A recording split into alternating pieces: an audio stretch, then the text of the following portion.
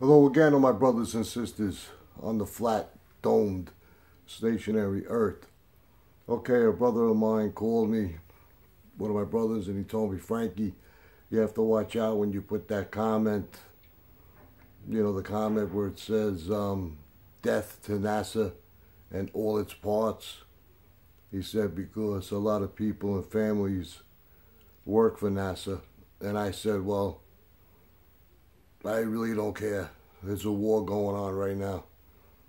And it's not a war between Russia or China because they chemtrail their skies too. And if they uh, are working for NASA, and most of them should know that there's no such thing as space, I have no sympathy for them. I really don't. I really don't care anymore because it's beyond, beyond. Gets me pissed off and mad. If they know they're working for the devil, then they should find something else. Don't worry, the Lord will will take care of you and open up another door for you. So I'm not gonna like not put that comment in anymore because I don't give a fucking rat's ass.